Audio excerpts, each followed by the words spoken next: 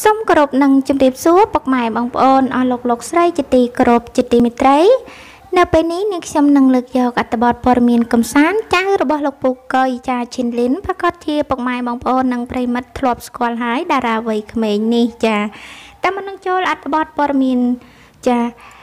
តារាវ័យក្មេងចៅរបស់លោកពូកុយក៏សូមប្រិមិត្តជួយចុច Subscribe សញ្ញាកណ្ដឹង Like និង Share ដើម្បីទទួលបានព័ត៌មានថ្មីៗ ក្រមុំស្ដោកពេលឈិនលីនស្លៀកឈុតកូនក្រមុំបែបនេះ ស្អាតប្លែកតែម្ដង តារាស្រីវ័យក្មេងជីឈិងលីនដែលត្រូវបានគេស្គាល់យ៉ាងច្បាស់ថា ជាចៅស្រីរបស់តារាកំ pl ែងជើងចាស់ លោកពូកុយផងនោះបច្ចុប្បន្នក្មេងស្រីរូបនេះ កាន់តែធំពេញរូបរាងហើយ ចំណែកឯមុខមាត់ក៏កាន់តែស្រស់ស្អាតទៀតផងជាមួយនឹងគ្នានេះដែរបើទោះបីជាឈិងលិនហៅចាមិនីមានវ័យក្មេង តែនាងពិតជាមានរូបសម្បត្តិចាសុភាពរៀបសារហើយនឹងសមត្ថភាព ផ្នែកសម្ដែងបានយ៉ាងល្អមិនថាតួអង្គបែបណា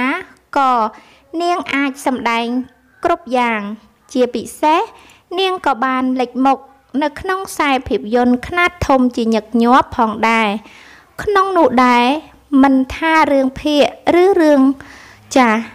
ផ្ដុំសឹងតែឃើញមុខមាត់ស្ទើរតែគ្រប់រឿងតែម្ដង ជាក់ស្ដែង ឆ្នាំថ្មីនេះតារាវ័យក្មេងរូបនេះក៏កាន់តែលូតលាស់ធំធាត់ជាងមុន ចំណែកឯរូបសម្ផស្សក៏កាន់តែស្រស់ស្អាតប្លែកចំណែកឯការងារ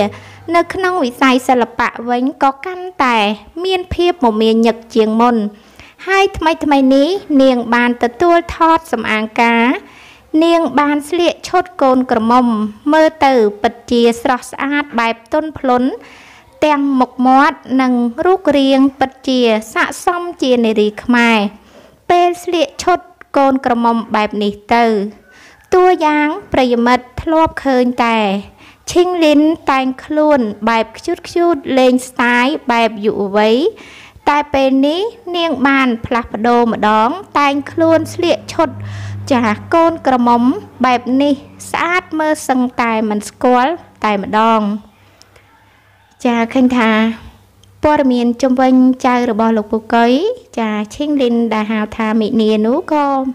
មានតែប៉ុណ្ណឹងប្រិមិត្តពុកម៉ែបងប្អូនជាចុងក្រោយនេះខ្ញុំក៏សូមអរគុណរាល់ការតាមដានរបស់ពុកម៉ែបងប្អូននិងប្រិមិត្តទាំងអស់គ្នា ចា